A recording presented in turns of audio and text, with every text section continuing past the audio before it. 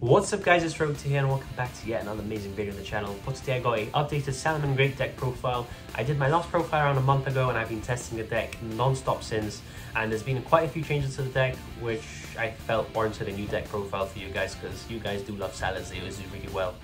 And yeah, if you do enjoy this video, make sure you do leave a like, subscribe. Like 90% of you who watch this video are not subscribed, so please, please hit that subscribe button. Without any further ado, let's get straight into the deck profile. So starting off our main deck here, it is of course 40 cards. We are going to be starting off with triple Soul Eating Oviraptor. This is the best dino in your deck. The ability to basically just rotate out any other dino or Foolish Burial is insane. He's also a Monster Reborn. You're going to want to be seeing him as often as possible in your hand, hence why I'm playing three of him. For a two of here, I am playing double of UCT. This card is absolutely insane. Just by banishing two dinos from the grave, he brings himself out, or you can bring him out with the double evolution pill, which is the preferred way, I guess, of bringing him out. He's basically a quick effect Book of Moon by just destroying a dino, or a monster, I guess, uh, destroying a monster from your hand or field. He's a Book of Moon, and he attacks and sends things to the grave that are face down or in defense, and inflicts 1,000 points of damage. Moving on for a another two up here, we got double Petit Pteranodon.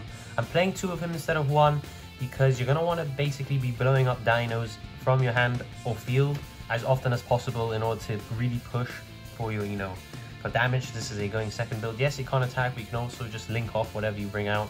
You can bring out Pankratops, you can bring out a second UCT for disruption as well. If you do fail the OTK, you can always have additional backup with Petit Pteranodon. For another two up here, I got double Babycerasaurus.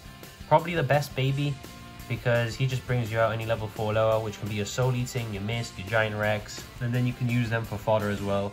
And the fact that the babies aren't once per turn either is crazy. If you have a baby in the grave and you have something you can target with your OV, what you're going to want to do is you're going to want to target the baby in the grave, blow up something, and then you can get advantage from that, bring back the baby, and then blow up the baby again later on during the turn to get more advantage. So absolutely crazy cards. For the one-ups here, of course, we got the one Misk. Konami decided to finally hit Misk back to one. I mean, if you if you read Misk, you realize why is that one. Just quick effect, make every dino unaffected by your opponent's cards until the end of that main phase is insane. The fact that he can banish himself and give access to the level 1, the brand new level 1 uh, dino that is available, which is a in Animadorned Archosaur is crazy as well. So just an absolutely insane card, and I understand why they put this at 1.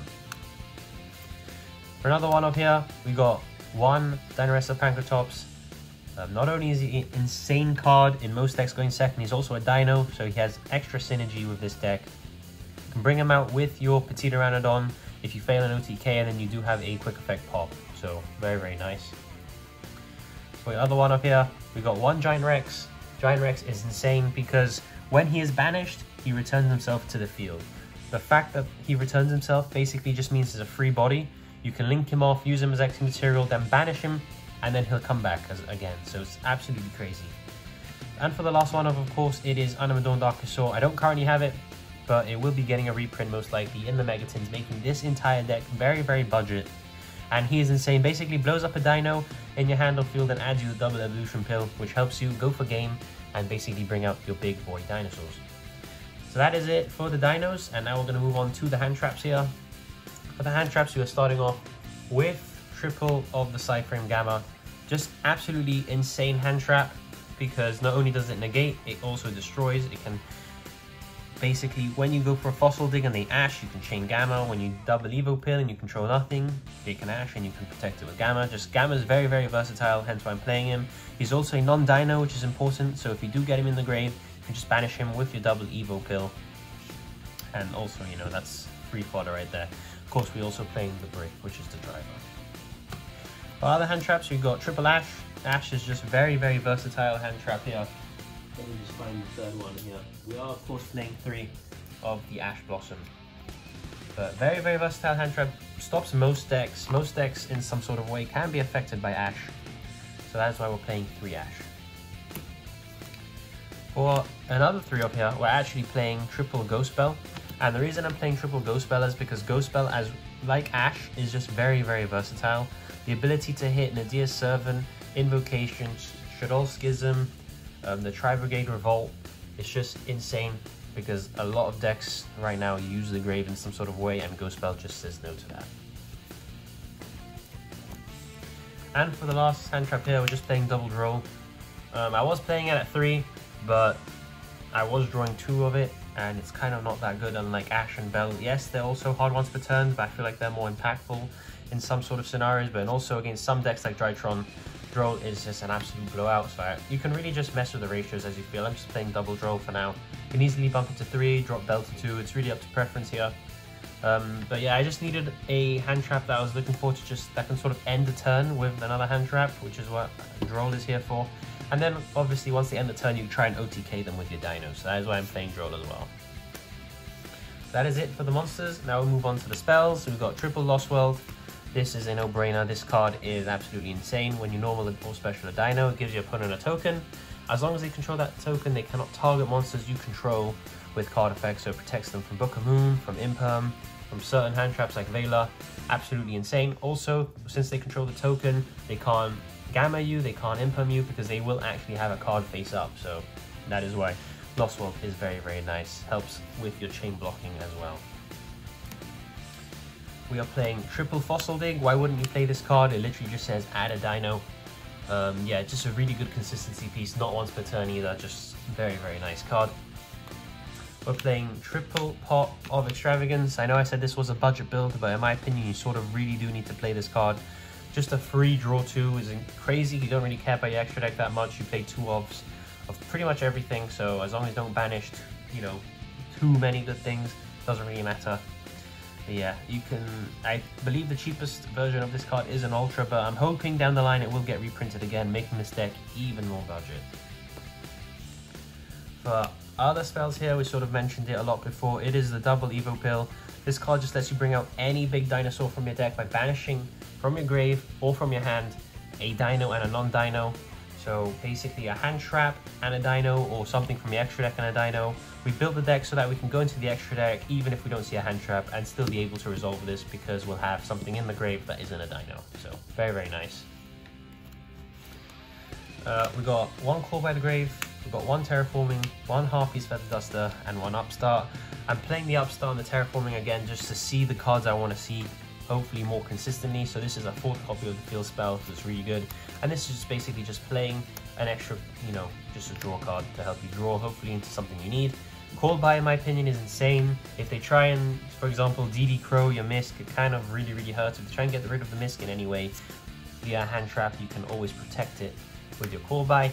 And the Harpy's Feather Dusters, since you are going since you are a going second deck and you do come up against some back row, you can always just force it out in the beginning of the turn with Harpy's Feather Duster.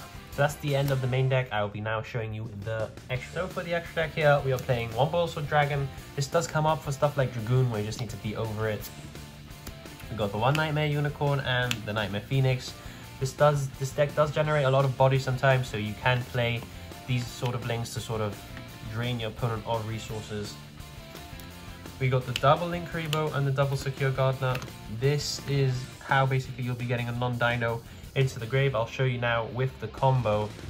Basically, you're going to be turning your Animadorned into a Linkuriboh and then basically replacing a Linkuriboh with a Secure Gardener since this takes one Cyberse monster, Link monster basically. So you link it off and then you have the Linkuriboh in the grave, which is a Cyberse with your Dino. So that is how you're basically going to be resolving the double Evo pill without using a hand trap.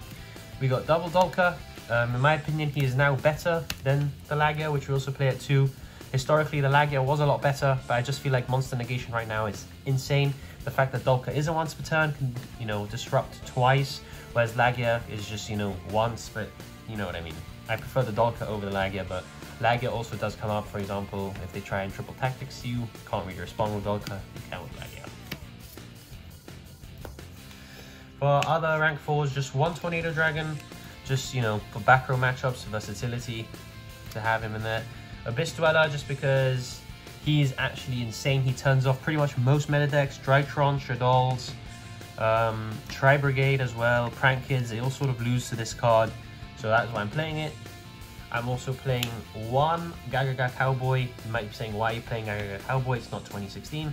Well, I'm playing Gagaga Cowboy because when you are in time, I know it's a scuff way to win, but you can just get two level 4s under him detach and inflict 800 and that's come up before so that is why and also if you have Lost World and a token they can't actually target your Gagaga so they won't be able to like chalice it, imperm it, Veiler it so it actually is quite protected and once you get that burn off you can just end and you'll win the duel. And for the last card here in the extra deck it is of course the PSY-Frame Omega. I feel like you should play it able to return banished cards like your Misk since it's at 1 now. Returning Misk with Omega is just an absolute blowout in my opinion.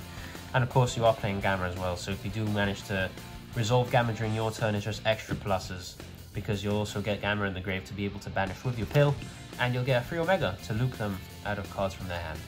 That is it for the extra deck. I will now be showing you the two card combo. Alright guys, so here is the basic two card combo you can do with this deck. It is actually very, very explosive, gets you a ton of cards in advantage, and lets you push for a lot of damage and end on a lot of disruption. So this combo works going first or second, so let's start it off. You're to want to normal summon your Oviraptor, activate its effect, you're going to grab yourself a Misk. Now you're going to send your Misk to the grave to make all your dinos basically be unaffected by your opponent's cards until the end of this main phase.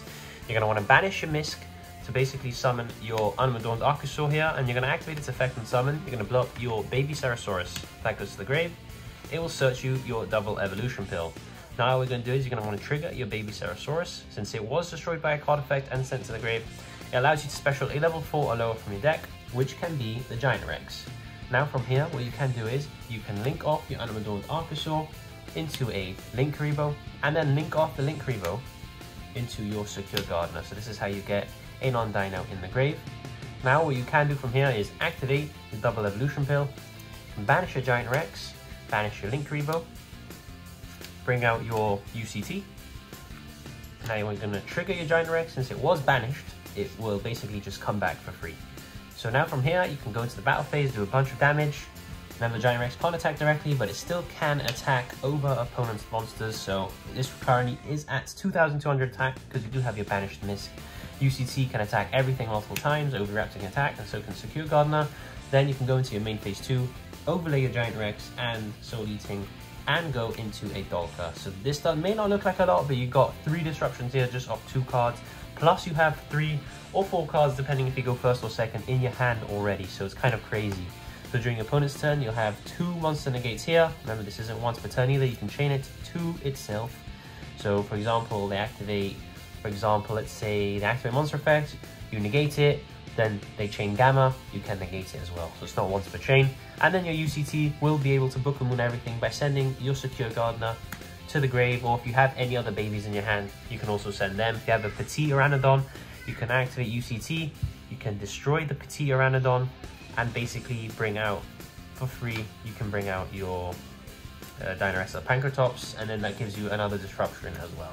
That's the end of the deck profile, guys. I hope you guys did enjoy my take on a budget, going second, Dino deck list that I've provided with you guys today. Let me know in the comments down below what you guys want to see next, and I thank you so much for watching. It's time!